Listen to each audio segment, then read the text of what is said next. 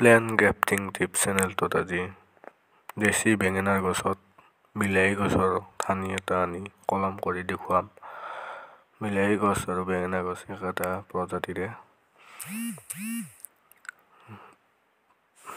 সেয়েহে দেশী বেঙেনাৰ গছত বিলাহীৰ ডাল এটা আনি লগাই দিয়া হ'ব সেইটো আপোনালোকে চাই থাকিব দেশী বেঙেনা গছ বাৰমাহে লাগে আৰু ইয়াৰ জীৱন চক্ৰ দীঘলীয়া।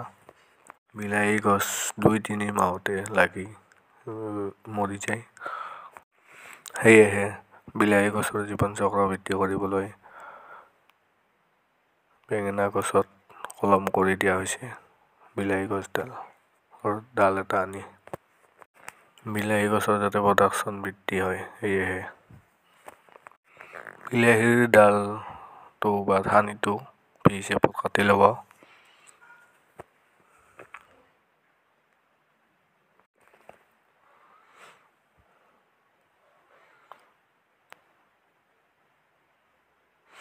নতুন ব্লেডেৰে কাটিব যাতে কোনো ধৰণৰ ইয়াত আঘাত নাপায় বিলাহীৰ ডালটোৱে। আৰু সমানকৈ কাটিব যাতে বিলাহীৰ ডাল আৰু বেঙেনাৰ গছডালৰ ডাল দুয়োটা সমান হয় আৰু ছাল দুয়োটা মিলি যায় তেতিয়া দুয়োটাকে জোৰা কৰি বান্ধি দিব।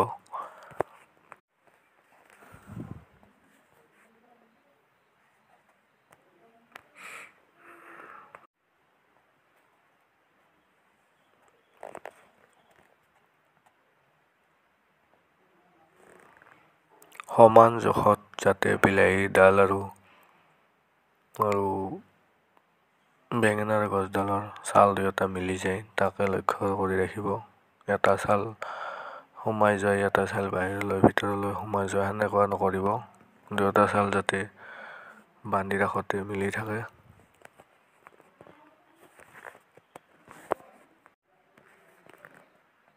দুয়োটা ডালৰে কেম্বিয়াম লেয়াৰ দুয়োটা মিলিব লাগিব তেতিয়াই কলমটো ছাকচেছ হোৱা দেখা যায়।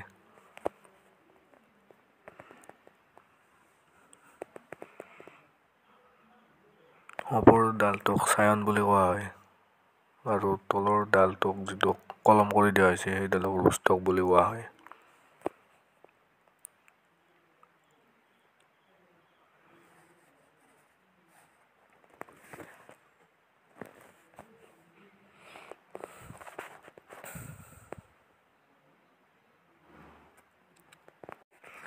বেঙেনা গছৰ তলৰ পৰা ওলোৱা গজালিবোৰ ভাঙি দিব যাতে ওপৰৰ গাছ বিলাহীডালক তলৰ পৰা ভালদৰে খাদ্য যোগান ধৰিব পাৰে।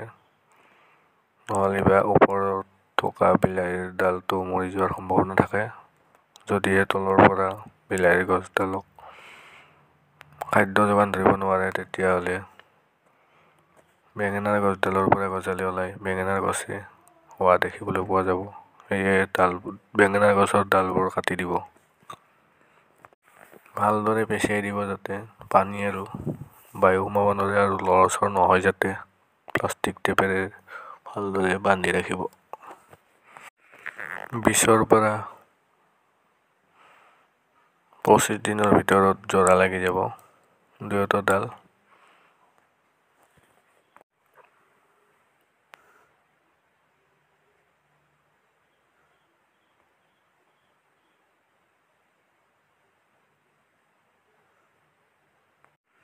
ওপৰত এটা প্লাষ্টিক পলিথিনেৰে বান্ধি দিব যাতে ভিতৰত এটা উত্তাপৰ সৃষ্টি হয় এটা আৰ্দ্ৰতাৰ সৃষ্টি হয়। তাপমান বৃদ্ধি হ'লেহে কলমটো ছাকচেছ হোৱা দেখিবলৈ পোৱা যায়। যেতিয়া এইটো ছাকচেছফুলি হৈ যাব বিছৰ পৰা পঁচিছ দিনৰ পিছত পলিথিনটো খুলি দিব।